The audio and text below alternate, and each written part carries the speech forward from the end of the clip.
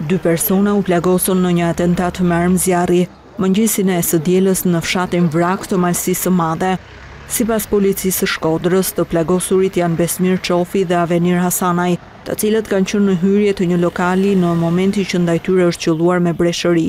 Pas hapjes së kamerave të sigurisë, blutë e Shkodrës kanë mundur të identifikojnë autorin e dyshuar të këtij atentati.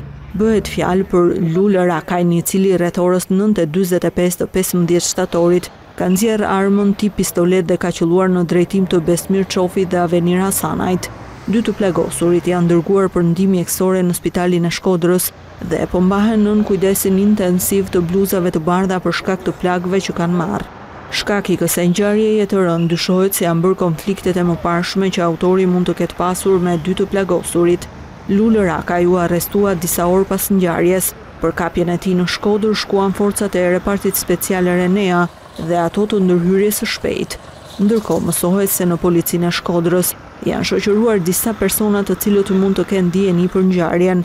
Sipas të dhënave policore, Lul Rakaj rezulton me precedent të mëparshëm për veprën penale Krime kundër personit.